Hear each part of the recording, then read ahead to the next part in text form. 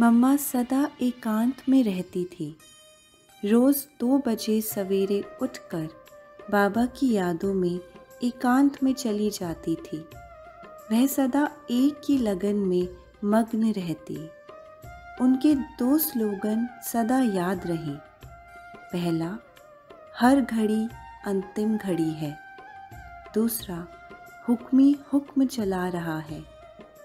इसी स्मृति से हम भी सहज नष्टो मोहा स्मृति स्वरूप बन जाएँगे। किन्हीं झंझटों में नहीं जाएँगे और अपनी बुद्धि को सब बातों से फ्री रख बाबा की आशाओं को पूर्ण कर सकेंगे।